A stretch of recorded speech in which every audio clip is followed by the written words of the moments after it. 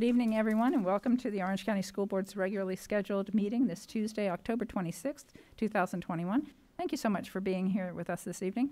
Board members are participating in person or telephonically. I believe we are all here in the chambers except for Member Gallo. Member Gallo, are you on the call with us? All right, I do not hear Member Gallo. If we, um, Dr. Jenkins or Ms. Envol, if either one of you hear from um, Ms. Gallo and I'm not aware that she's dialed in, let me know so I can recognize her. As a reminder, face masks are required indoors um, on all school property, and that includes the board chambers and our lobby. I want to remind the public that board members will not be engaging in outside electronic or digital communication during the meeting, so we can focus on the meeting itself. To my fellow board members, district members, district staff, and members of the public, when speaking, please make sure that the microphone is turned on and speak directly in it to, so that our YouTube and Orange TV viewers can hear you clearly. And again, thank you so much for participating or attending this evening's meeting. We're going to begin with a moment of silence, but before the moment of silence, I want to call on Member Felder to make a few comments, and then Member Felder, if you will lead us in a moment of silence, followed by the Pledge of Allegiance. Thank you. Chairperson Jacobs. Wilhelmina Unkefer was a dedicated teacher and elementary guidance counselor since 1966. During her tenure, she worked as a guidance counselor under Dr. Kat Gordon, and together they lobbied for and convinced the district to create a division of elementary counselors. She loved her work helping young parents and their children. We at this board in Orange County Public School District, we are sharing along with the grief with her family members and we offer our condolences. Tremaine Lee was a beloved member of the Sadler family for 10 years. During his time at Sadler, he served as a classroom teacher, interventionist, and STEM lab teacher. He was a dedicated teacher who loved his profession and made learning come alive for students.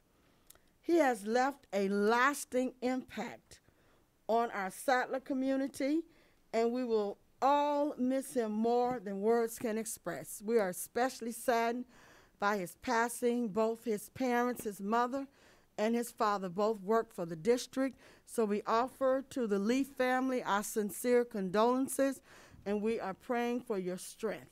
At this time, if you would stand for a moment of silent meditation, after which we will say the Pledge of Allegiance.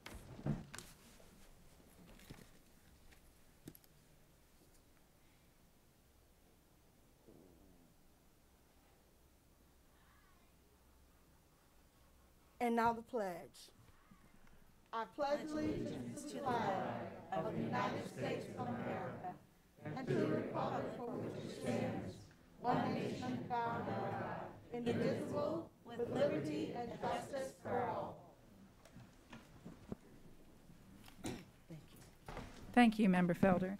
Dr. Jenkins, do we have any recognitions today?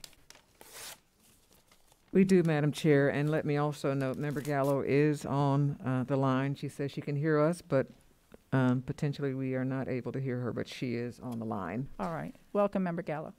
I've got two um, recognitions. Uh, first, Andrea Denise Hale, who is an instructional coach at Orlando Gifted Academy, will be the new assistant principal for Orlando Gifted Academy. And then I have uh, Cannon Cameron, who is a program specialist for ESE transitions, will be the new assistant principal for our ESE transition school. That is it, Madam Chair. Thank you, Dr. Jenkins. We also have a number of proclamations. This is always a, um, a busy time of the year for proclamations, so bear with me. First, we are proclaiming October 23rd to the 31st as Red Ribbon Week here in Orange County Public Schools, and I'm going to ask if Miss Mary Bridges would come forward to read the proclamation and to announce the winning schools and students. Miss Bridges, thank you for being here with us. And Miss Warner, thank you for being here with us as well. Good evening, Chair Jacobs, Superintendent Jenkins, and school board members. I am honored to speak to you this evening celebrating Red Ribbon Week, which is this week, October 23rd through October 31st. Now I'd like to introduce Sharon Warner, representing Informed Families for Red Ribbon Certified Schools. Good evening. Red Ribbon is the nation's oldest and largest drug prevention awareness program. Red Ribbon Week started after the death of DEA Administration Special Agent Kiki Camarena, who was murdered in 1985. After his death, people began to wear red ribbons to honor his, his sacrifice. Today, millions of people celebrate Red Ribbon Week by wearing red ribbons and participating in community anti-drug events and pledging to live drug-free lives. As you can see, this is taking place right now throughout Orange County. In 1988, the National Family Partnership, which is, we are a part of Informed Families, sponsored the first national Red Ribbon campaign. Today, Red Ribbons serve as a catalyst to mobilize communities and educate youth and encourage participation in drug prevention activities. Since that time, the campaign has reached millions of children and families. The National Family Partnership and its network of individuals and organizations continue to, to deliver this message every year. Today, I would like to recognize Arbor Ridge K-8 School Principal Vanessa DeMars and the application lead, Ms. Mary Jackson, who could not be with us this evening, for their efforts in becoming a Red Ribbon certified school. Freedom Middle School Principal Sherry Levitt, or Ms. Godak, um, and Lancaster Elementary School Ms. Natasha Pender. Application lead, their parent engagement liaison, Ms. Elizabeth Rodriguez. It has been a pleasure to work with you all over the last couple of years on your Red Ribbon Certified School certification.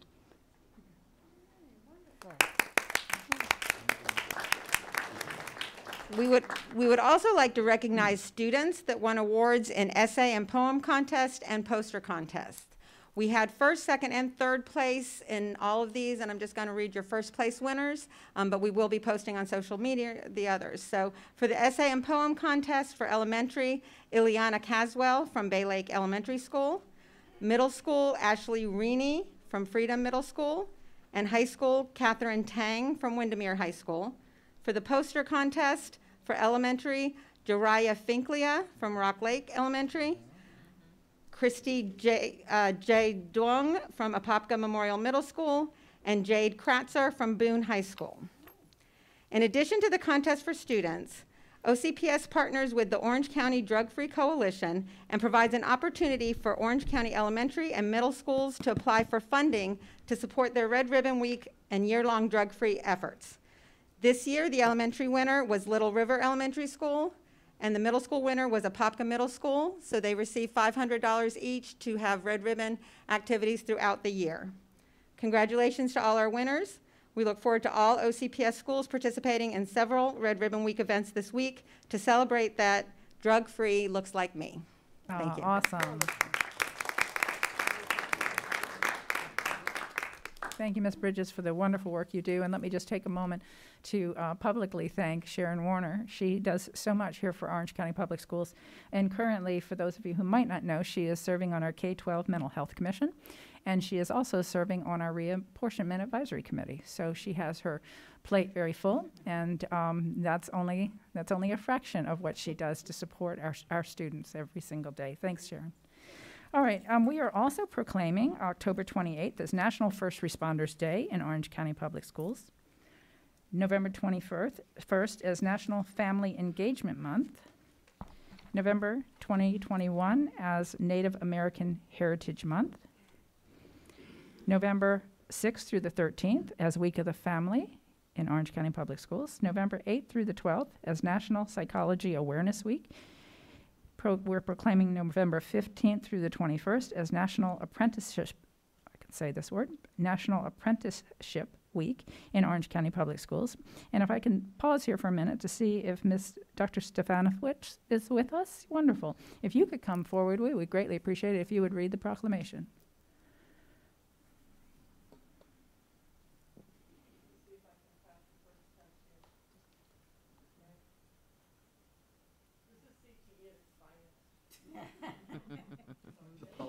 There you go, smart. Okay, we don't know that, I apologize. Always have to find a little bit of humor. Good evening, School Board Chair Jacobs, members of the board, Dr. Jenkins. Um, it, excuse me, it is my honor to be here tonight to share with you Registered Apprenticeship Week. It is Orange County Public Schools and Orange Technical College's desire to support the state initiative of being number one in workforce development by 2030. One significant way we support that goal is through registered apprenticeship. Registered apprenticeship is an employer-driven education and training solution that provides structured on-the-job training and instruction to apprenticeships for specific occu- occupations and culminates in a nationally recognized portable completion certificate issued by the Department of Education. It is my honor today to introduce you to Mr. Steve Paroli, who is, excuse me, some reason I'm nervous. I think it was, I couldn't get that thing open.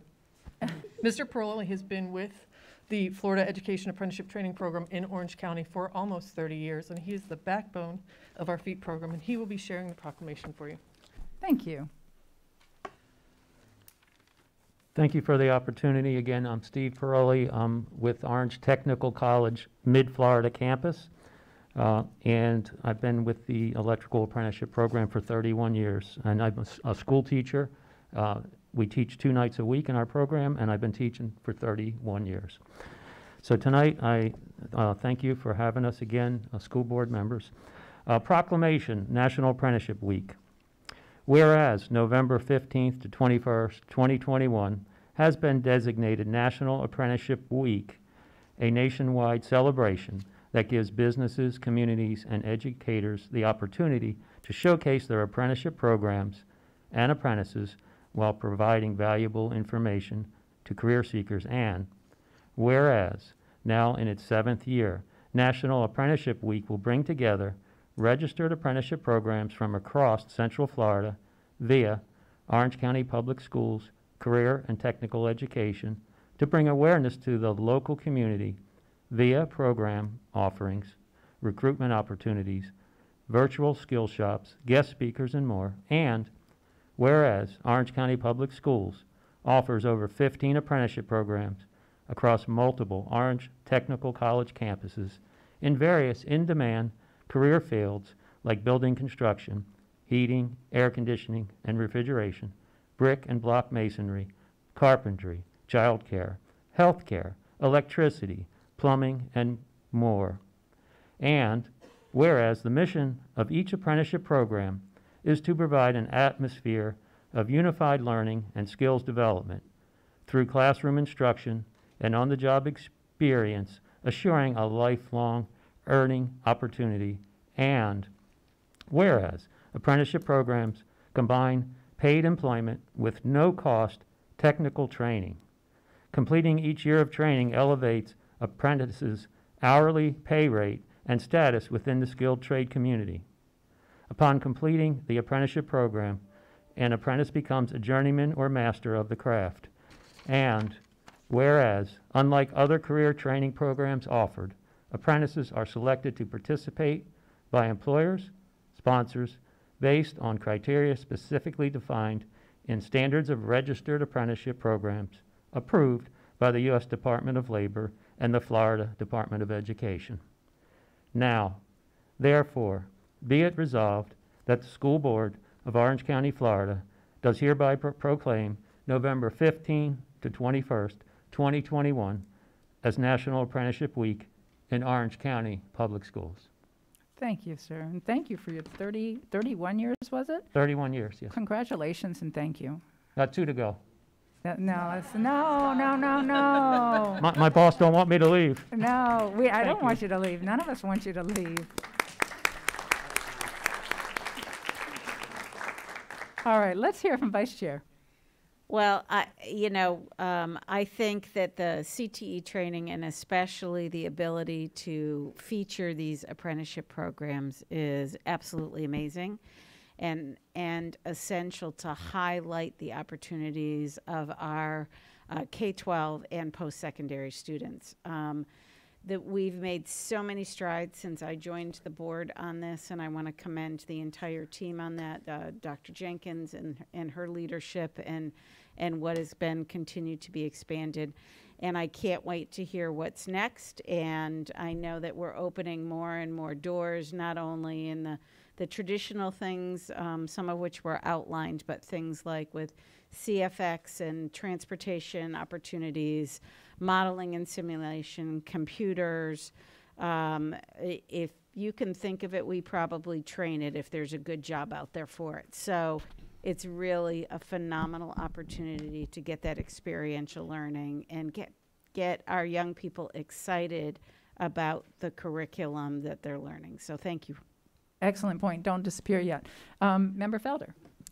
Thank you, Chairman uh, Jacobs.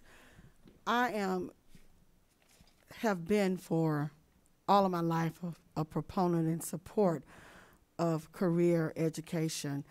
My father owned a dry cleaning business, and he taught students from Jones how to dry clothes and how to be, be able to start their own businesses. And when I had an opportunity to visit Orange Technical School, I was just mesmerized. So every time I hear of the programs and apprenticeships that you all are doing, I am just so excited. It's one of my schools. It's a poor frog that wouldn't praise his own pond, but I am so excited. Yes, I, I'm excited. And so I look forward because I know uh, it's going to be opportunity for people in our uh, communities that may not necessarily have an opportunity to uh, become economically uh, independent because they don't have a skill. But here we offer a skill. They can uh, own their own businesses, and it just it means a lot, especially for people of color and other people. But I know specifically uh, where the school is located and just the work you do and what the schools offer in the area of uh, technical education. I'm telling you, I am just proud and I'm so happy. And I look forward to seeing the students and coming out again to see the work that you're doing. And thank you so much. Member Felder, I should um, apologize for the chuckle up here on the border, at least explain it. So I had never heard that phrase, um, that, uh, yes, a poor frog that doesn't praise its own pond. Believe it or not. I had not heard it, but Kat Gordon, uh, bare, sweetheart, there was barely a meeting that would go by that she would not remind us. So when you said it, it just brought back some warm feelings from all of us. Uh, yes, yes. So anyway, that was what we all, yeah, we all just had a, a flashback to Kat always reminding us that. So anyway, and, and meant in the most, um, in the most pleasant of ways. So don't take offense to our laughter. Um, Member Byrd. Thank you, Chair. Um, I actually have two things that I want to um, talk about tonight, but first I'll just tag on to the um, to the uh, apprenticeship week um, proclamation and how much um, how much that means to me as well personally. I too had um, a father who was just a high school graduate, actually from Winter Park High School in 1959. Um, but he uh, was a general contractor and spent his entire life um, as a building contractor, building buildings all over Orlando, and which is really great because I can drive around and see the work that he did still to this day. But um, but he provided a terrific life for a family of six for, with four children, and um, you know sent us to college and everything, and all of that without a college degree. Um, not to say that a college degree is not great, but we all know that some kids um, are excited, get excited when they get to use their hands or when they get to um, do something that they can that they can build or see it end result. So I, I just I love that we have so many opportunities here in Orange County Public Schools and that we encourage children to explore the possibilities of what's out there. And um, and there's a lot of really great careers that um, are we are in desperate need to fill. So I am thrilled that we are allowing our students to the opportunity to experience those. Um, I also wanted to just take a quick second to um, to talk about our our proclamation for um, Native American Native American what yes Heritage? month. We did the whole month. Yes. Okay. I was just wondering if it was a week or a month. Um, yes, because a very dear friend of mine um, actually uh, is a uh, she's a paraprofessional in Orange County Public Schools too, but I've been friends with her for many, many, many years, and she's a wonderful person. And she is from the Choctaw um, heritage, and she shared with me an email that she sent to her staff at her school. Um, talking about how important this is, this recognition, and Indigenous Peoples Day. And I just wanted to read a little snippet because I think sometimes um, we run through these proclamations and we don't realize how much it really means to some of the people within our district to be able to have this small little recognition that just shows that they matter and that they're an important part of the tapestry that is our very diverse district. So um, she says in this email, this is an opportunity to com- to commemorate the contributions of Native Americans along with their culture and traditions. Many students don't even realize that there are still Native Americans or that there are over 500 sovereign nations within the United States. Many of these nations are thriving and taking care of their tribal members. Without teaching the youth, the history, language, and traditions are at risk of disappearing. Much has been lost already. My grandmother was full blood Choctaw. She was proud of her heritage and made great contributions in her lifetime. My great uncle was a code talker during World War II using the Choctaw language to send messages that could not be understood by the enemy. Like many, my grandmother's children were not so proud of their heritage. Due to the prevalent racism, they tried to hide their heritage. Many were not interested in learning the language or traditions of their people. I'm happy that today my children are proud of their Choctaw heritage. They are all tribal members of the Choctaw Nation of Oklahoma. My daughters are learning the Choctaw language and they all participate in community cultural meetings. Um, so I just wanted to take a moment to just um, thank the district leaders that um, put these proclamations together. Um, sometimes we bring them to them, sometimes they um, bring them to us, but I, I'm so thankful that we get to recognize all the important people that um, make up this great district. Thank you. Member Byrd, thank you so much for those words of wisdom for us. Um, I also, while we're on that subject, you made me think of something, an email that I received just the other day, and ironically, it came right after I was, I was at Publix and I was getting my booster um, vaccine, my COVID booster vaccine. I was really excited about that, and was waiting in line, and um, a woman approached me, and she was a proud bus driver for Orange County Public Schools. She drives um, a bus for our ESE students, which um, make me even prouder of her. And we had an opportunity to visit and talk a little bit about just how I had an opportunity to share with her how important her job was and how much we appreciated it and knew it, and how very difficult it's been this year because of the shortage. And, and bus drivers doing double duty and but she was so gracious and um, and and felt very good about what she did. And I actually had to kind of pry it out of her. Had she ever had to, to do a double, you know, a double round? And anyway, she's the kind of people that we, one of our unsung heroes. So ironically, the day after that, and I do think it's ironic, I don't think it's connected, I received a, an email from a constituent who asked us, since we celebrate a lot of proclamations here, why don't we celebrate Bus Driver Appreciation Day? And I was like, okay, we need to be celebrating our bus drivers. Um, so I reached out to Scott to ask um, Mr. Howat if we could bring a proclamation forward. There's actually a National Bus Drivers Day, and I think it was in October. But he, ga- he responded back to me instantly saying that the Foundation for Orange County Public Schools will be rolling out a four week bus driver appreciation program starting next week.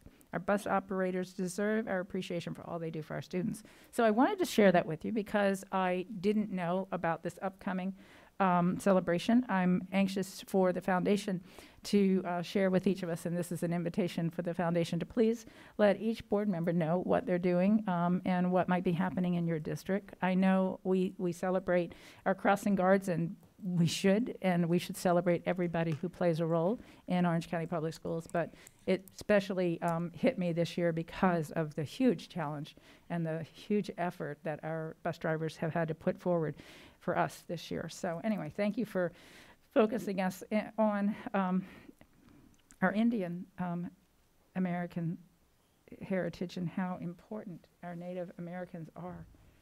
I, as a teenager, I always regretted, it's uh, going to sound crazy, I always regretted that I wasn't Indian. I felt like I should be. And so it surprises me because I never realized how much racism there was until now. Mm-hmm. And, and now I look and I see what I never saw. And it's shocking to me, just shocking. When you look at our history, the whole thing is just shocking. So anyway, I'm glad we are celebrating and recognizing that im- important heritage and the unfortunate history of our nation also we need to always remember. We are finished with our proclamations. Dr. Jenkins, I'm going to call on you to introduce our strategic plan.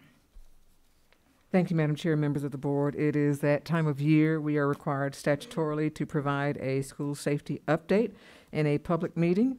Uh, I'd like to remind both members of the public and um, the board, uh, and the board is clearly aware of this, that we will not, uh, by design, disclose all of our safety measures. Some of them are held confidential as an added layer of security. Nonetheless, we will provide uh, significant information for our school safety update by your school safety specialist, Chief Brian Holmes, who is the chief of our own small sworn uh, police department here in Orange County Public Schools. Chief Holmes. Thank you, Dr. Jenkins. Uh, Good evening, Madam Chair, board members, Dr. Jenkins. Uh, Yes, tonight is the night for the school safety specialist annual update. Uh, Just for a little background for those of you that are not familiar with uh, why we're doing this is post-Parkland school shooting tragedy back in 2018, the legislature got together very quickly and put together Senate Bill 7026. And as part of that, they designated a position called the school safety specialist. And uh, Dr. Jenkins, as the superintendent, uh, was required by law to appoint a person to be the school safety specialist for the district who is responsible for all school safety and security personnel, policies, procedures for all public schools. With that in mind, uh, we are required again to annually update the school board uh, in a publicly advertised meeting on matters associated with the safety and security of schools. As Dr. Jenkins said, I'm not going to go into great detail. This will be a high-level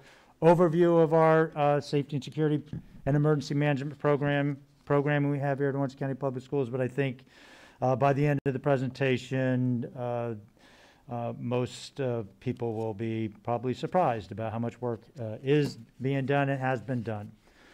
Before I move forward, I do want to credit our past school board, our current school board, and our superintendent for their leadership and their willingness to put their money where their mouth is, to be committed to school safety and security.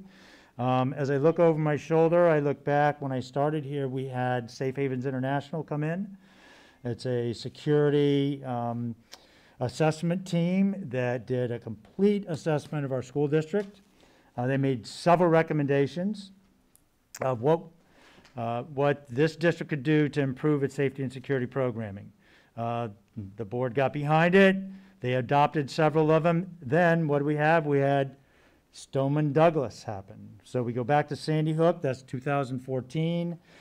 Board gets on board, brings them in, and then what we have, we had what happened at Stoneman Douglas.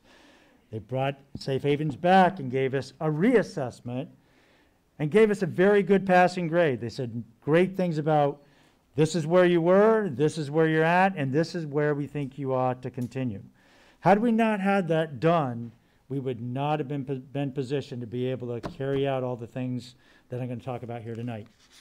Um, So, with that said, here's the agenda. I'll start talking about Stoneman Douglas. We got Senate Bill 7026 and Senate, Senate Bill 7030. Uh, I'm going to go over our school security improvements, new legislation, the FDOE rule, uh, and uh, the findings, recommendations, and I want to talk a little bit about the grant funding we've received and how we've been spending it. So just so you can follow along, this entire program is built around security strategies. We try to be strategic here in the district in all that we do. So there's three strategies that we base everything that we're doing on, prevention and early intervention. Threat assessment's a good example about, about that. I'll go into more detail about threat assessment, uh, threats to self, de-escalation, and our safety screening program we have. That's a great, those are great examples of prevention and preventive measures. Risk mitigation, what are we gonna do if something's happening? We, uh, we, get- we need to train for that. So we have risk mitigation drills, active assailant training, emergency preparedness training, things of that nature. And then last but not least, and we hope we never have to get to this, but that emergency response and recovery phase, where we have our uh, SRO program and our SROs in all of our schools, our CERT teams that we have in our schools, and of course, uh, re- our reunification uh, program that we have prepared in the event something bad does happen at our schools. So here are the area prioritizations and how this is broke down. Of course, we have district police, which is police and security. We have safety and emergency management uh, that oversees the emergency operations, that- that preparedness piece I just mentioned. We have facility services. We wouldn't be able to do these physical security improvements without them. And then we have, of course, student services, which is our mental health team. And, you know, just, just to kind of frame this up, we are the big orange.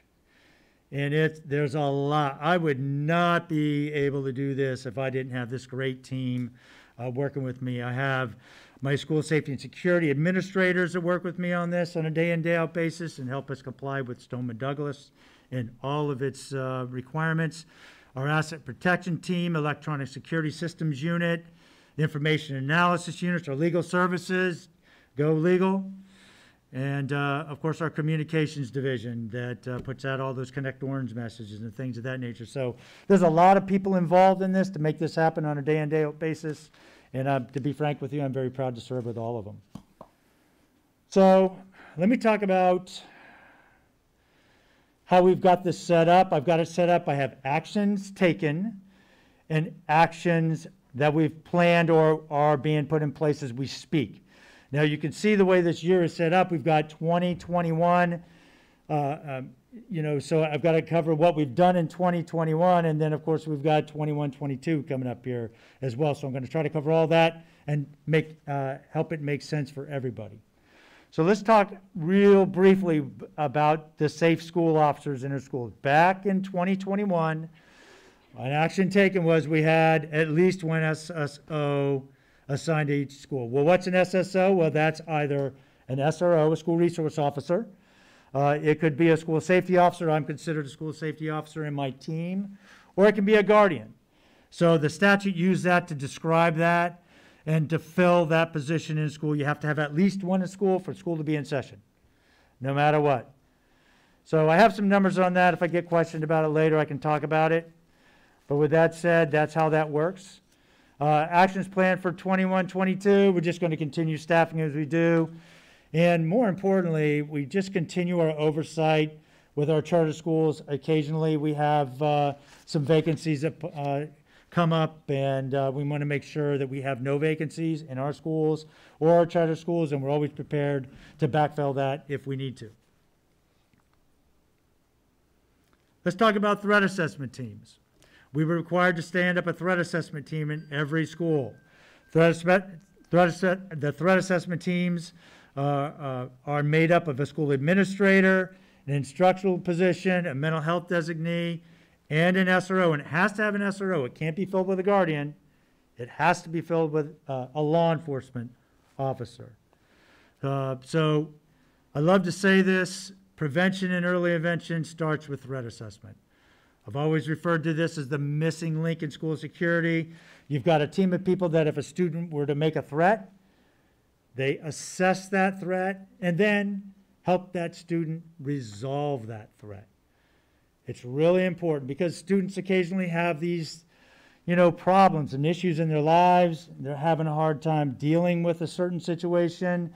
And the whole idea with that whole programming is not discipline, even though there can be a piece of that, but how that student can be helped to resolve that threat and what we're going to do about it. We also have a district threat assessment team that oversees that entire program and makes sure that we're consistent with how we uh, assess these threats and apply, uh, you know, certain aspects to it, what type of threat it is, what level of threat it is. So uh, that's made up of uh, an administrator, school safety and security, district police commander, intel analyst, legal services, a mental health designee, an area administrators, and/or an ESC representative. So you can see there's a lot of layers to this, checks and balances built in to make sure that we have safe schools.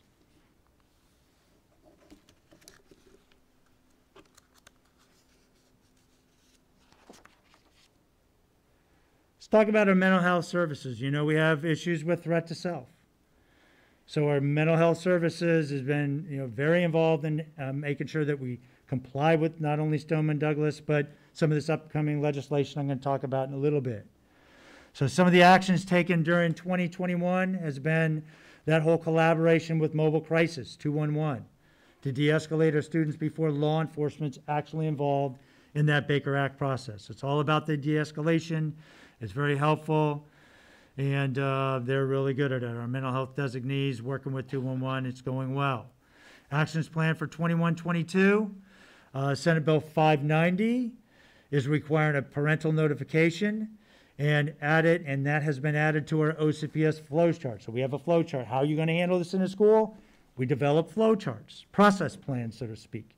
This is how you do it, and we want to make sure it's enterprise-wide. All of our schools are doing the same. You'll see that that's a consistent uh, way we try to do business here. Everyone's doing it the same in every school. Uh, Parent acknowledgement form has been modified to document parental contact prior to removal for the Baker Act. Our crisis hotline information stickers have been provided for our 6 through 12 schools to be affixed to the back. And um, that's pretty much for this school year. Let's talk a little bit about our safety and emergency management team and some of the responsibilities to, uh, you know, stay up with all this. And believe me, it drives us and it drives us hard. When you've got Senate bills, uh, you've got rules, you have all this, it makes you work. You've got to keep up with this compliance. And, um, and, and we work hard at doing that. So some of the actions taken for 2021 is they incorporated the COVID-19 safety pro- protocols into our emergency drill procedures. As you might imagine, we didn't want to cluster everybody in a corner together when we're trying to deal with, with COVID. So they came up with some procedures for that. They updated and maintained our health and safety protocols manual. That was a living document we had right there on the OCPS website. You could look at it. Parent had questions about what's going on with the protocol, just go right to our website. They updated our emergency procedures manual and they updated our standard response protocol terminology. We added, um, we have lockdown, lockout, evacuate, shelter, and hold. So we added, uh, uh, we went from lockdown, lock, lockdown to secure. We dropped the lockout. We thought secure was a better way. I Love You Guys Foundation came in and suggested that. Uh, we took it, uh, we've updated that. So securing the campus, what does that mean? Well, say for example, we have um, police activity in the area of a school. We want to make sure that doesn't migrate onto our campus and, and make it unsafe and somehow or another somebody get, you know, into the school uh, that shouldn't be there.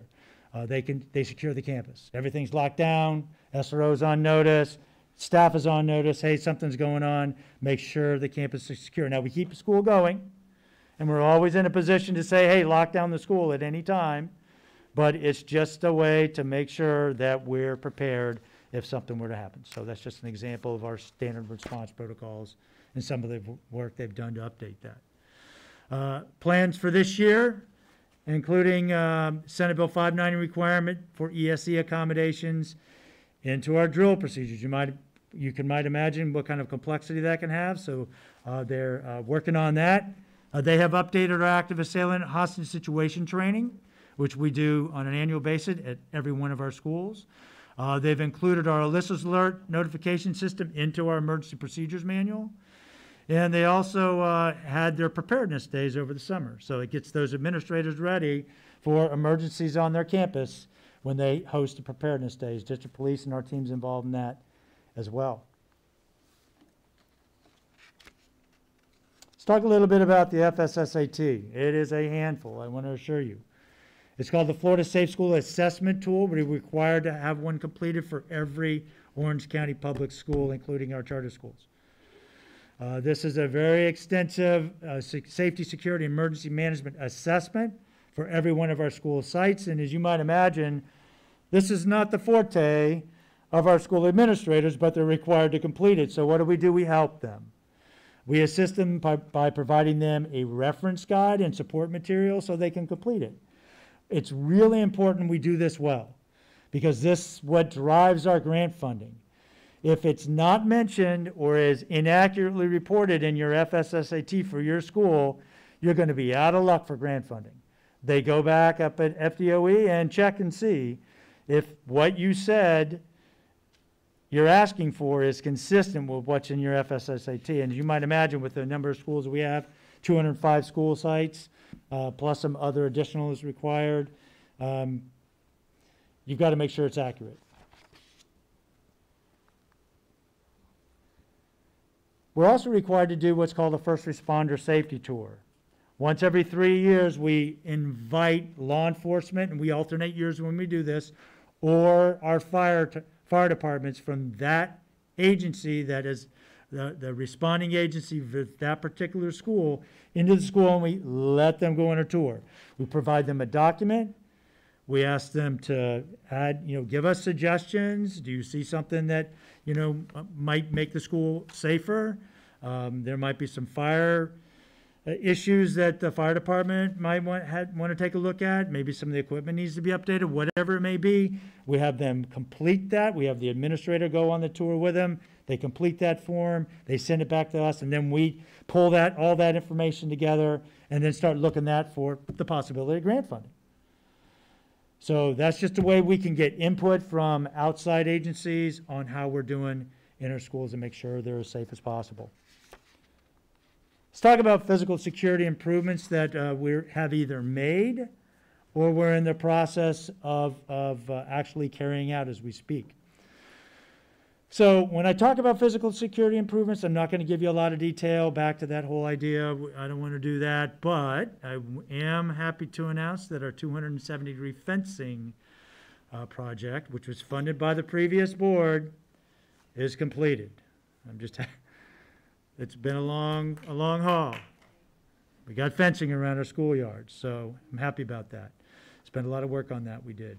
Our Sally Port concept, we have 115 of our schools actually completed. Now, this is being funded by grant funding. Uh, What is the Sally Port concept? I'll tell you this. It's a multi-layered approach to physical security designs to eliminate un- unauthorized access to our schools. And we'll just leave it at that. Right? So, school, oops, there we go, sorry about that, got a little behind. School radio system upgrades. Our first responder radio systems, all schools meet transmission requirements.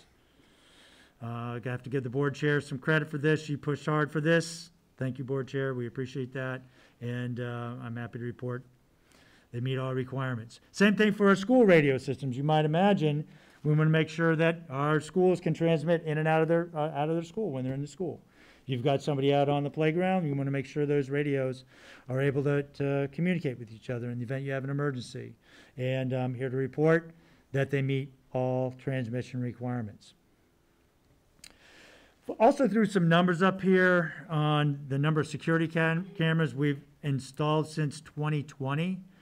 Now, we do this on an ad-needed basis. This isn't the VidCam refresh project where we were going in and taking all the old, uh, we had the, the, the old um, analog cameras in there and upgrading to IP-based cameras. That's not what this is. These are additional cameras that we've added to schools to provide for a safer school. The principals like it because they like, you know, they want to manage student, student management. We like it because of the security aspect, and sometimes they intersect. Mind you, with that in mind, so you can see eight hundred and three cameras, new cameras, uh, replacing those analogs, and uh, additional card readers uh, at our schools. That make it easier for the staff to get in and out of the school, um, you know, without having to have a key or propping the door open, using a chair, things of that nature. I'm always looking for that when I go out to a school for a tour, because it- it usually tells me, I think we need a card reader right here. So let's talk about uh, 21, 22. What do we recommend we do moving forward? Now, this is all tied again back to the Florida Safe School Assessment Tool. So with that in mind, I'm going to read these off. We are recommending rooftop and classroom exterior building identification systems. We recommend that we enhance our no trespassing signage along our school pers- perimeter so it's in compliance with state law and how it's supposed to be posted. We would like to expand our public address systems to ensure we have full coverage. Now, for the most part, we do, but occasionally we'll have some spots at the school that we have some issues with, and we always want to make sure when we do this testing, we test for this every year. Can they hear you out on the school grounds? Can you hear it around the school? We always make sure we test at very loud level. We're sorry for the neighbors at times, but we usually turn it up all the way to make sure they can hear it out in the event we have an emergency. It's really important that they can communicate to everybody on the campus. Uh, we would like to expand our exterior lighting systems. A little bit of light goes a long way with our new camera systems. I'll just leave it at that. If I need to, well, I'll just leave it at that. Goes a long way. We also have a need-based expansion of our school security cameras and our access card readers. That's what we've been doing. You can see we've had to add uh, cameras and readers, and we've been doing that. And we want to continue with that. And we would like to evaluate a uh, a vehicle barrier system for our schools. So that's just an evaluation process. We're not quite ready to commit to that, uh, but we're working with our facilities, uh, services folks, uh, on identi- identifying a system that will work for, at retrofitting schools that don't have, uh, areas that are safe. So let's talk about the new legislation that we've had come out. Uh, first of all, we'll talk about Senate Bill 70, which is Alyssa's Law or Alyssa's Alert, as we like to refer to it here. This is actually a mobile panic alert system that's new for this year. It was funded by the state of Florida, and we're thankful for that. We have selected our vendor, Motorola Safer Watch, for our Alyssa's Alert provider, and we are involved in the implementation. Now, the uh, Motorola Safer Watch has agreed to uh, work with us on what we would consider improving the application and making it fit with our standard response protocol that we have here.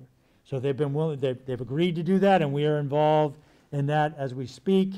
And um, I'm really happy uh, that they have been willing to work with that. Um, hopefully, uh, we're not we're, we're not in a position where I'm concerned about a full implementation throughout this school year. We've already got it implemented, but full implement, implementation, from my perspective, is it's working the way we want it, and it works for all of our schools. Charter schools also received what we call their notice to proceed for this, and um, they're moving forward on their their uh, Alyssa's alert systems as well.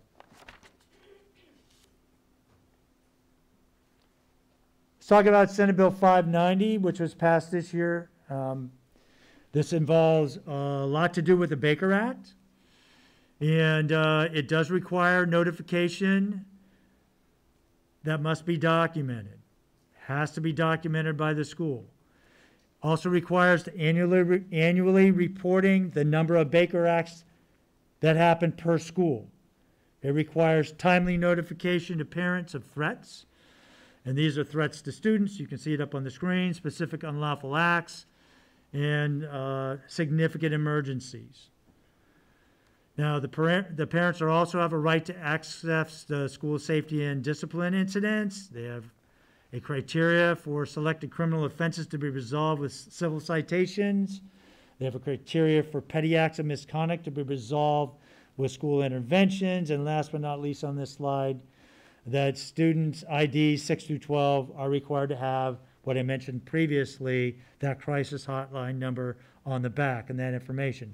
I'm going over this in detail for you because we're going to have some policy work to do, but I am happy to report that the last three criteria that we have up there, actually, um, excuse me, the, uh, the criteria for selected criminal offenses and the petty acts of misconduct is already built into our school justice partnership agreement.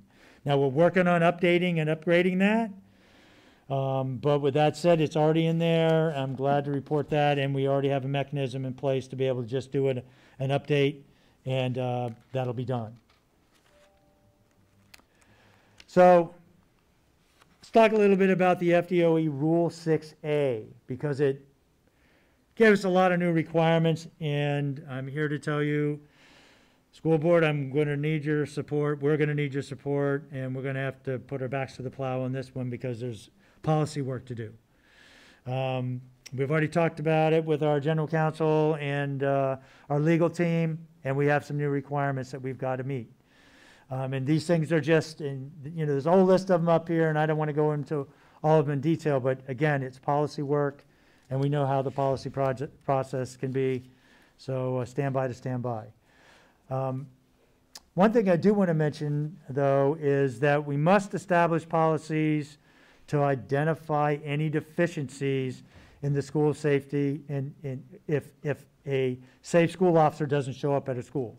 So if we have an SRO that doesn't show up, and we have a vacancy in a school for an entire day, I'm required as a school safety specialist to report that to Office of Safe Schools. And I've got to provide them in writing what the remedy is going to be to fix that. We can't let that just move, go forward. Uh, this not only applies to our schools, but it applies to our, um, charter schools as well. So that's just an example of it, but there's other items in here too. Requires that we actually put into policy, uh, the, that SSO coverage outside of a regular school day and what that looks like. So before and after school. It's got to be in policy. Summer school. Are we going to have SSOs on our campus? Extracurricular activities, school-sponsored events, football games, things of that nature. We've got to build that into policy and what the requirements are going to be for that. So there's obviously going to have to be a lot of discussion about those type of situations.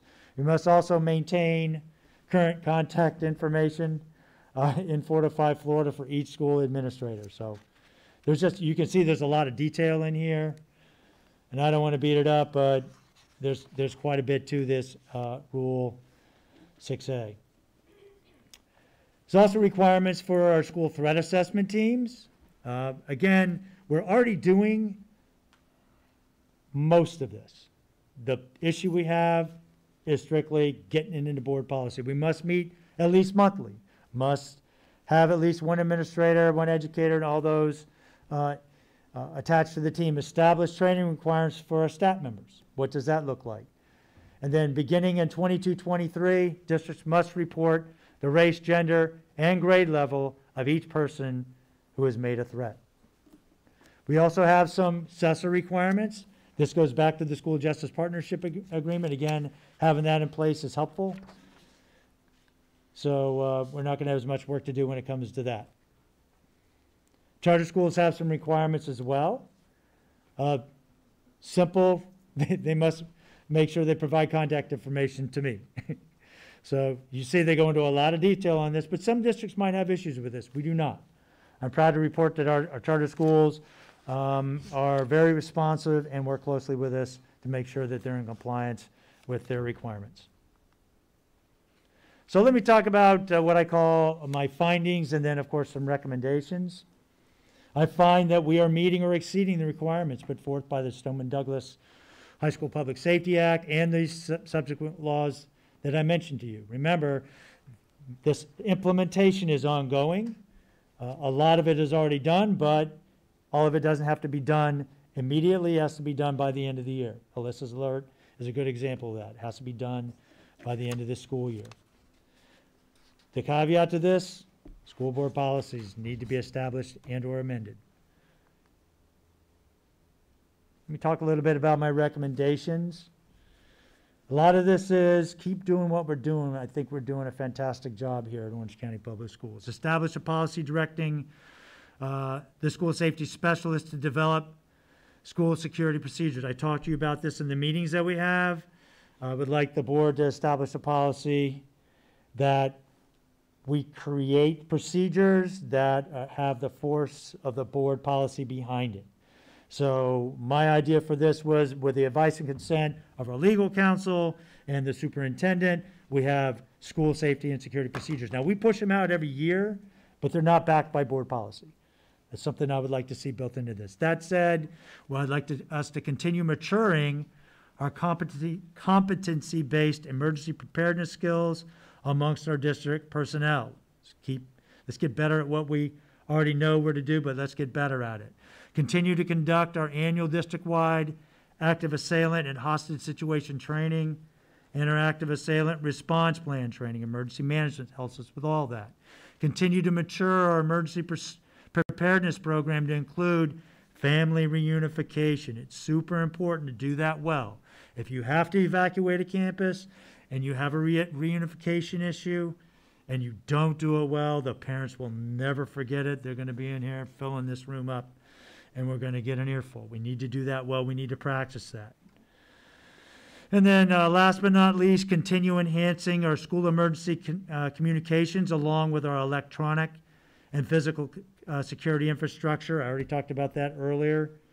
And what we're recommending we- we do moving forward with our security programming. So grant funding, we have received fourteen million, five hundred and twenty-five thousand, two hundred and twenty-five dollars worth of grant funding. We're expecting another three million dollars this year. With that in in mind, we're working on spending it. We want to spend all of it. Those projects that I've been talking about in there, that's what we've been working on. And, uh, our asset protection, our facilities teams are doing a great job carrying it out and getting the job done. Uh, back to the, we have grant number four, we have to share that with our charter schools, so they get a, they get a piece of that as well, but that's fine. And we'll make that three million bucks go, uh, our piece of that, three million dollars, go as far as we can, uh, on these projects that I mentioned to you previously. With that said, superintendent's comments, any questions? Member Gallo, you with us? Thank you, Chief. Member Gallo with us? Member Gallo, you have can comments or me? questions? Yes, we can hear you. Oh, wonderful. Uh, yes, yes, I do. So I just want to thank um, Chief Holmes and his team for, for the work that they've done on our behalf and the staff's behalf, behalf this past year. Uh, when 590, when that bill dropped and all the student safety language was um, added, it was great language, and a lot of it we had already laid out here in Orange County, and we were kind of the front runners in that. So I'm just thankful to his team and for all that they continue to do to keep us and everyone in OCPS safe. So I just wanted to say thank you. Thank you, Member Gallo. Any other comments or questions from board members? If not, let me echo the words of Member Gallo. Thank you. Wonderful presentation. Thank you for the job you and your whole team do every day to keep our, our students safe, to keep everyone safe here in Orange County Public Schools. Um, I'm, I'm glad the focus over the last year, as difficult as it's been, has not been on the types of violence that we've seen in schools around the country um, over the last 10 or 20 years. So, and I know that your presence, the presence of our SROs at all of our schools, that all of those pieces of the chain, as we talk about chains that keep our community and our and our society safe, all those links of the chain are critical to it. And every single man and woman that works for you is a critical part of that chain. So thank them for us, please. All right, you. with that, we will move on then. Thank you again, Chief. We're going to move on to the adoption of the agenda. Dr. Jenkins, any changes to the agenda as published? No changes, Madam Chair. All right, seeing no p- changes to the agenda, I will um, offer a, I'm sorry, um, request a motion to adopt the amended, uh, the agenda as proposed. Um, Motion by member Lopez, seconded by member Kobert. Thank you. I wasn't quite sure who I heard and who I saw. Thank you. All in favor, please say aye. Member Gallo? Aye. Motion Aye. Thank you. Motion carries unanimously. And um, we should not have any public comment, I don't think, because we don't have any action items. So with that, we will, I will request a motion to approve the consent agenda. I move to approve the Motion by Member Castor Dental, seconded by Member Byrd. All in favor, please say aye. Member Gallo? Aye. Motion carries Aye. unanimously. No, you're coming through fine. Thank you, Member Gallo, and thanks for always participating, even when you're on the road. We appreciate it. And so the motion carries unanimously. Dr. Jenkins, you're recognized for uh, superintendent's report. Thank you, Madam Chair, and I will be brief. Um, as October 30th approaches, I know parents and staff uh, want to know if we will continue our face mask mandate or revert back to required masks with the parent opt-out provision. While I must say the numbers look extremely encouraging, I want to review this week's information before making a final determination. Tomorrow, Mayor Demings has a press conference scheduled that should provide updates. I will be talking to Dr. Shu, Dr. Pino, Dr. Rodriguez, and who is our OCPS physician consultant, and with each of you over the next two days. I plan to announce the face mask direction on Thursday. That is my report, Madam Chair. Thank you, Dr. Jenkins. And Member Castor Dental? Thank you, Madam Chair. Um, I just want to comment on, um, uh, the superintendents and just give some of my thoughts on that, um, her decision that's coming. Um, I looked up uh, the CDC uh, recommendations to see if they had changed since our um, last mask policy was implemented. And the CDC continues to recommend that uh, masks be worn indoors at school for everyone, um, even though our numbers have improved. Um, and uh, if you listen to the discussion of the Medical Advisory Committee, you would have heard the overwhelming majority also recommend that we continue our mask use. And fortunately, our high school students have had access to the vaccine for some time, but none of the thousands of elementary students in our schools have. Um, finally, vaccines are on the horizon for elementary and middle school kids and likely will be available in a matter of weeks. But until that time, um, masks are the only measure that our unvaccinated children have to protect them in our school. I'm sorry, you're out of order. You're out of order. Please do. Perfect, thank you. Ma'am? Cut. She doesn't have a mic to cut.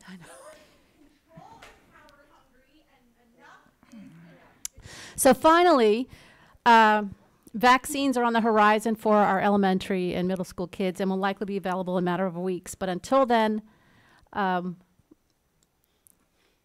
masks are what we have to protect our kids. Um, we know masks work. and again, masks, excuse me, this is my time to speak. Masks work best when everyone wears one. And I admit that masks can be inconvenient, but they're practical and a simple way to mitigate the spread of a disease. And I recognize that this is a highly charged issue and one that we have never seen uh, the likes of before during our board meetings. Um, and like you, I've received very angry emails from some folks, but the majority of my emails are from grateful parents and teachers. And when I'm in the community and at different events, friends and strangers alike come up to me and express their appreciation for the steps that this board has taken to protect our community. And I think that's important to know as we go forward. As we just listened to Chief Holmes detail the many layers of safety,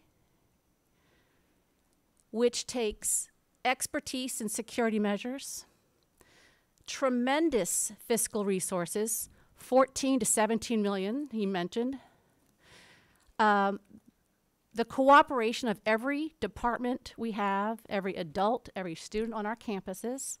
I was so thankful for the commitment that OCPS has and the superintendent and this board has, has made to put safety first.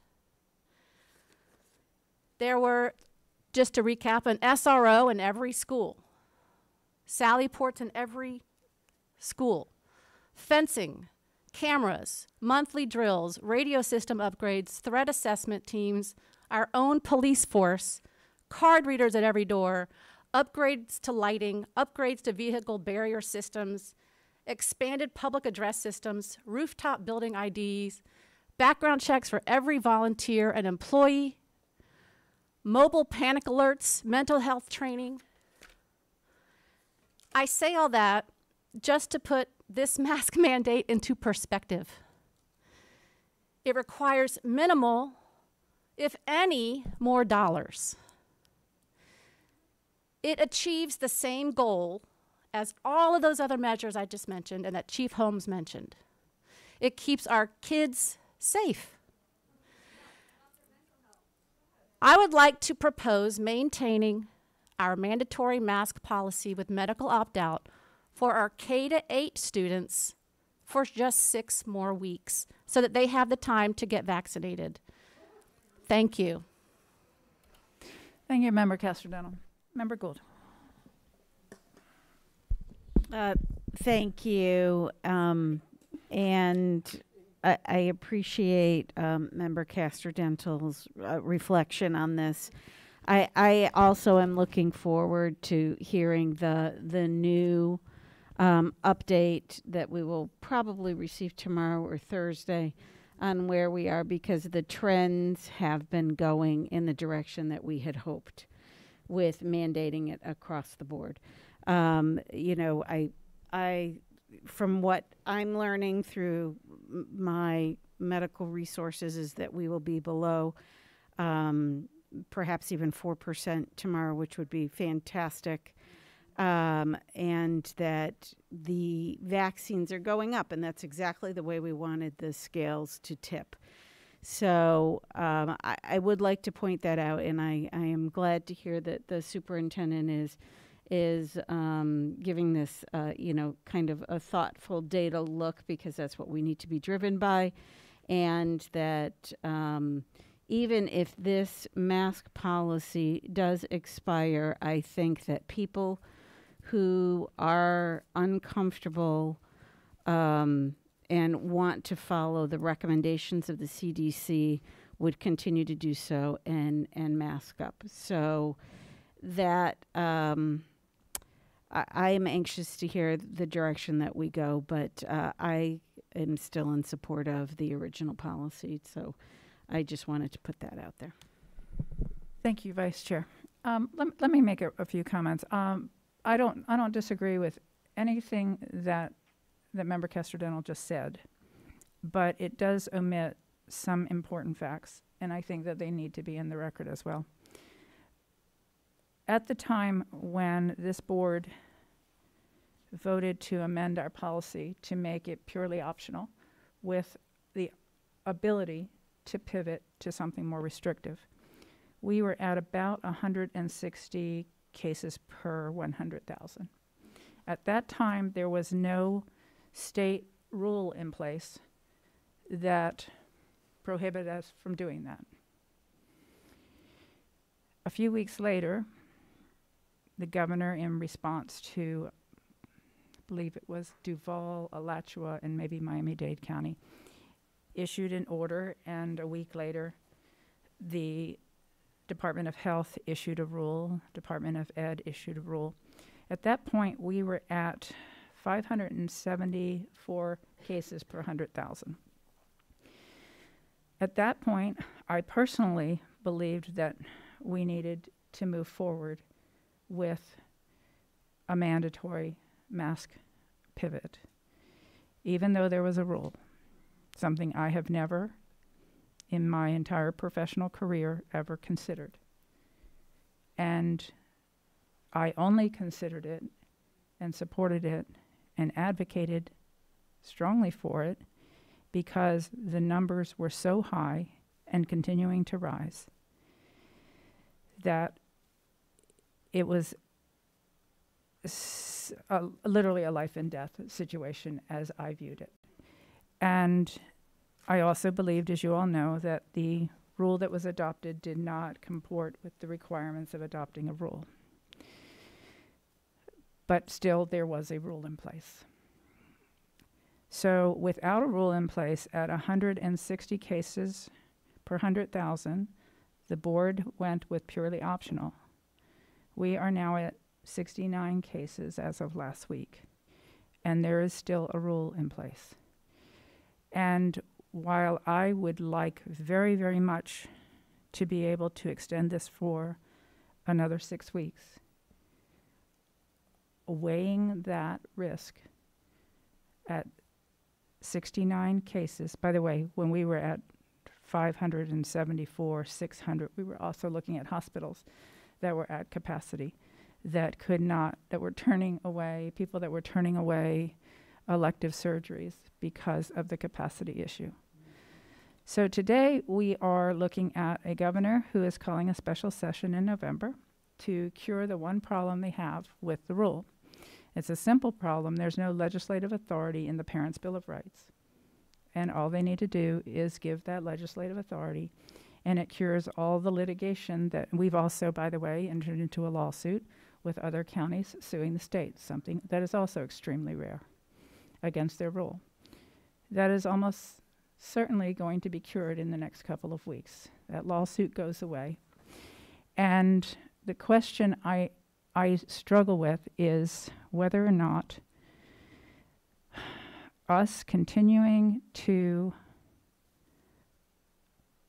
proceed forward with the mandate we have in place with numbers that are less than half of what they were when we went purely optional, in spite of a rule with a special session being called to figure out how to deal with belligerent boards, which is how they'll be seen by the legislature, by those in power in the legislature, whether that results in, since they've tried financial sanctions and it hasn't worked, what other sanctions are there?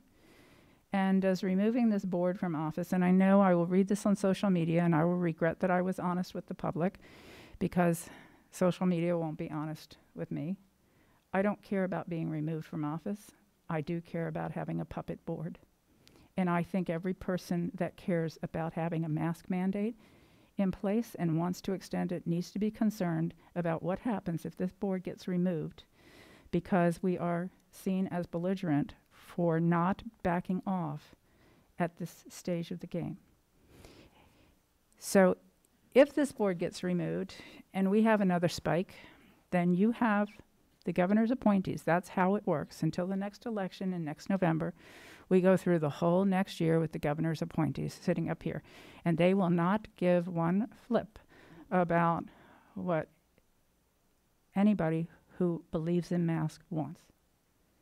So, is that a risk that is worth taking for the children of Orange County Public Schools? Yes, the folks in the green agree it is. And when you're in this position and you have this option, you will make the decisions you believe are right, and this board will make the recommendations they believe are right. But I do want to share why it is that I'm not doing what my heart wants badly to do, which is give us six more weeks. I think we also need to recognize the risk of what happens during those six weeks. If I thought we had, I thought the governor wasn't going to go forward with the special session because he didn't pull it off the last time he offered, to, suggested to, excuse me, suggested he was going to do that. But he is doing that, and I think that that is puts um, a very different spin on what our actions need to be so that we are still poised in the event that we have another spike to put another mandate in place. But that's only going to happen if this board is still in office.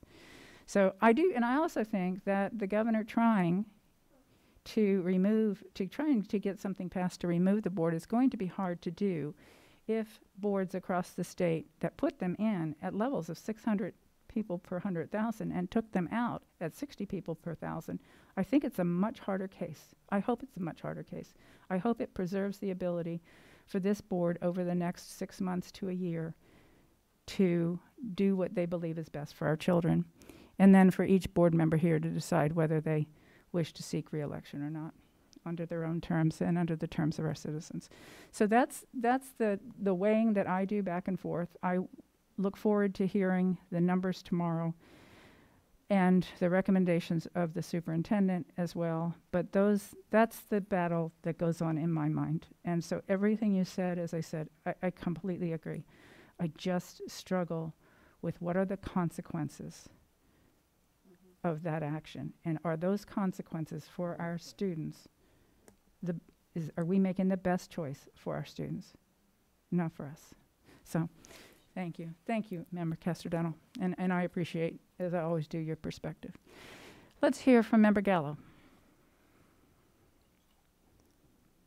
Thank you, Madam Chair. Um, and I, I appreciate the remarks that, that you made and the information that you gave us. And I also appreciate um, Member Dr. Castor Dental and her perspective as well. I, I agree with Member Gould. I'm very encouraged by the numbers, and I'm looking forward to the information that Dr. Jenkins will gather um, over the next day or two, and I'm looking forward to her recommendation on what um, the, the county and, and the experts say. So I just wanted to say thank you to, to everyone, and I look forward uh, to hearing the information that we gather. That's all, Madam Chair. Thank you. Thank you, Member Gallo. Um, Member Lopez.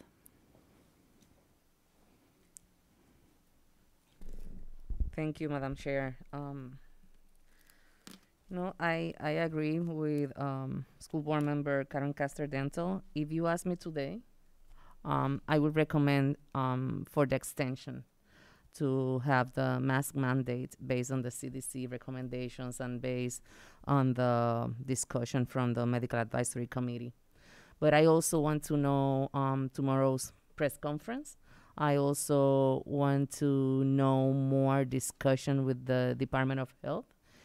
Um, so, um, but at this moment, if you ask me, I- you know, I, I think that is not fair for our um, students that are not able to get vaccinated to be exposed. Um, so I am very concerned about that. I don't know if the other option is surgical.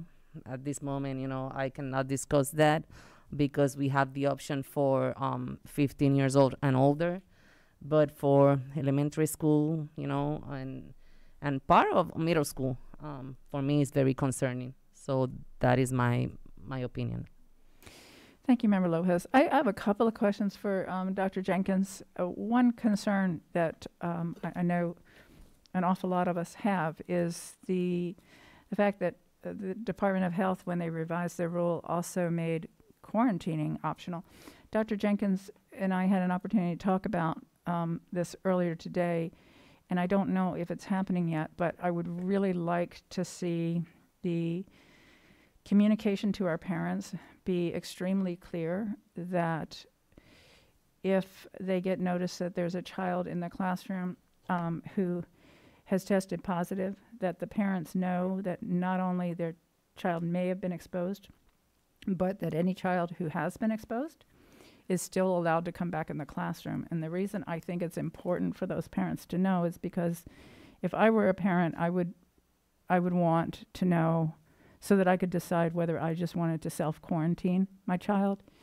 And um, and I think that we owe it to parents to make sure that there's no we can't change what the Department of Ed has done, but I think informing parents can it's the most that we can do to protect our students.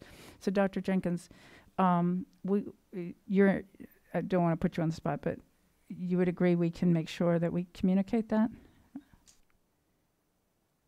Not a problem, we can. Okay. And then I, I also asked Dr. Jenkins if we have students that, um, parents that want to keep their students home because of, of the lack of a mask, if we can do everything that we can to accommodate those students while they're out, while they're waiting for the opportunity for a mask. Um, I know that nothing is the same as being in the classroom, but if, assuming that at some point we lift the mask mandate and vaccines aren't available, and that will depend upon what happens this week with numbers and what superintendent decides to do and what input she receives. But if and when that happens and the vaccine for 12 and under, I'm, I'm hoping and praying it's going to be approved in the next day or two. But when will it actually be available for students is, is another matter. So I would like to, to have comfort knowing that we're going to do what we can to accommodate the academic success of our students if parents feel compelled to keep their kids at home. Dr. Jenkins. Certainly so, depending on the outcomes and the announcement on Thursday, we would always make provisions for uh, parental concerns and preferences. It'd just be a matter of coordinating it with their school. Thank you. Okay. All right, if there's no further comments on this subject, and again, Dr. Castor Dental, I, I raised the other issue just because I want to make sure that as people are following what we're doing, that they understand the full context of the the the, the de- decision-making process. Dr. Castor Dental. Uh, Thank you, Madam Chair. No, I, I appreciate um, the full context that you gave because um, we are um, we are not able to be um, autonomous on this issue and on the board without consequence. So we've been weighing the consequence personally, and um, even then, we're still we've moved forward. But um, but your point about the the potential for the governor to remove us, although it might be, uh, we, you know, we might not want that, um, but it's not it's not our personal ourselves being removed, but who would come and be appointed um, in our place by the governor would have um, effects that that we can't even predict right now, that go beyond the mask controversy and others. So, I mean, that that is a, a, a real concern. I mean, our, our governor has has shown um, what he's willing to do, and um, I don't I don't take that lightly. Um, but I, I so I understand your concern, and I appreciate your perspective. Thank, Thank you. And I, I'm going to make one other comment just for the public, because I have gotten a number of emails from people saying the governor hasn't removed anybody from office yet. And so I'm just, you know, imagining something. I, I want to be clear, the governor doesn't have the authority to mo- remove anybody today. He needs that authority from the legislature. He doesn't have it. And he, and if he tried to remove anybody based on um, the Parents' Bill of Rights, there's there's such an issue there. So I I think that's exactly why the governor is calling a special session because he needs some legislative changes in order to make that possible. So then the question is, what is that risk? Anybody who knows me, I'm not a I'm I'm a rather risk averse person, and um, when I weigh those two risks, I do worry tremendously about what what this district's future looks like for our students with a fully appointed board for the next year. Without any further, Member Lopez, and then we'll um, move on to next item. Member Thank you, Madam Chair. I, I just have a question to the superintendent. So once um, she knows the feedback from the Department of Edu- the, the Department of Health, I'm sorry, and also from um, tomorrow's um, feedback from Mayor Demings, how is going to look, you know, the decision because we have until the 30th, and you know we o- only a few of us, you know, provide recommendations publicly. How is going to work um, in order for you to make the decision based on our recommendations and on the feedback that you receive from from the people that I, I already told you. Member, uh, Dr. Jenkins? Absolutely, uh, Member Lopez. Actually, it does not take board action or a board vote. I have that authority. I'll be speaking with individual board members and certainly would convey to you my decision prior to announcing it to our parents and our community, hopefully on, by Thursday. So it's so it's based on your decision after you analyze that. You're gonna call us. Correct. To, okay, perfect. Thank you.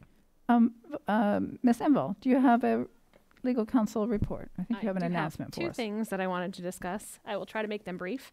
The first is an announcement of an executive session pursuant to Section 286.0118 Florida statutes and in accordance with Board Policy BEC. An entity may meet in private with its attorney to discuss pending litigation to which the entity is presently a party before a court or administrative agency, provided certain conditions are met, including the requirement that a transcript of the executive session will be made part of the public record upon conclusion of the litigation.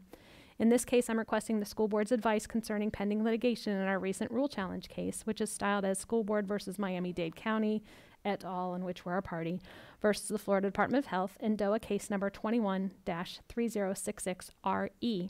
On Tuesday, November 2nd at 1 o'clock p.m., the executive session will be a closed meeting held in conference room E at the ELC and will take approximately one hour, and a notice has been drafted for posting. Those in attendance will be Teresa Jacobs, Chair, Pam Gould, Vice Chair, Angie Gallo, School Board Member, Johanna Lopez, School Board Member, Linda Kobert, School Board Member, Vicki Elaine Felder, School Board Member, Karen Castor Dental, School Board Member, Melissa Byrd, School Board Member, Dr. Barbara Jenkins, Superintendent, Amy Envall, School Board's General Counsel, John Palmerini, Deputy General Counsel, and a court reporter. Thank you, Madam Chair. That's my first thing. And my second item is uh, to give you an update on the Reapportionment Advisory Committee. I have to commend your selection of representatives for the Reapportionment Advisory Committee. I am so pleased with their passion, with their excitement to draw maps. Um, and it's really nice to focus on something that's different than, you know, so it's, it's been a lot of fun. Our first two meetings were here, held here at the RBELC. Um, and Chair Jacobs did a welcome for all of them. We took our uh, show on the road to say our meeting number three was at Windermere High School, where Pam Gould gave an address to um, the members. We had about 20 to 30 attendees, and they were just watching from the audience, so it was very exciting to watch. Uh, this week, we're going into, uh, uh, we're going to be at Lake Nona High School tomorrow night, where Member Lopez is going to join us. And uh, next week, we're going to be at Edgewater High School on November 3rd and Jones High School on November 4th. And so, um, uh, creating new maps to reapportion the population into as equal as possible member districts is our goal, keeping a variety of legal principles into consideration. This is not changing the boundaries of schools. So I need to make sure that that's clear.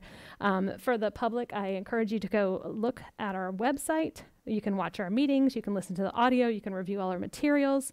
You can evaluate the current maps that we have of the district boundaries. You can read the FAQs. As we get multiple questions, we're adding them to the FAQs and updating them regularly. Um, you can view our meeting schedule and you can submit electronic comment. And we, of course, welcome anyone to come in person to any of those meetings, even if you're not residing in that district. And I look forward to continuing to work with such a remarkable group. Thank you. Awesome, thank you. I totally agree with you. They were, I was so impressed when I walked in, because I, I, uh, I must know at least half of them, and I was really, thank you all for the caliber of people that you, um, that you volunteered for this. All right, Member Lopez, I think this was pressed from before? All right, thank you. Then we're going to hear from our vice chair. Well, thank you, and, and I just want to encourage people to really participate and pay attention, especially if you care if we are elected or not in the future, because this is the boundaries that really have influence on that. So if you want to have a say, this is the time. um, that's not why I wanted to talk, though. Um, uh, so we are at a time where the Foundation for Orange County Public Schools is doing their employee giving uh, campaign, and and the board has traditionally been leaders in participating in that campaign. Um, it is a wonderful opportunity to either give a one-time gift or give through your paycheck. Um, and really make an impact in your schools or for one of the partner organizations that you can designate like United Way, United Arts, United Negro College Fund, a gift for teaching, um, and our foundation for OCPS.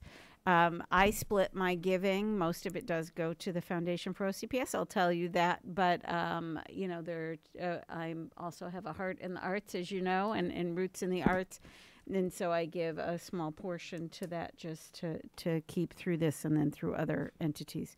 Please look in your email um, for the message from Debbie and um, make a difference because that uh, unified giving is really important. At one point, which I thought was kind of cool, we all agreed amongst ourselves that we would give something. Not it not it doesn't matter the amount of the gift, it's the fact that we were going to give and we actually signed a document together that um, then was shared with employees and with our partners in the community who we asked to step up all of the time. So, those of you who know that I work in the philanthropic world, the first rule is we have to give if we expect others to give. So, please give. Nice job. All right, if there's not any further business to come before the board, then this meeting is adjourned.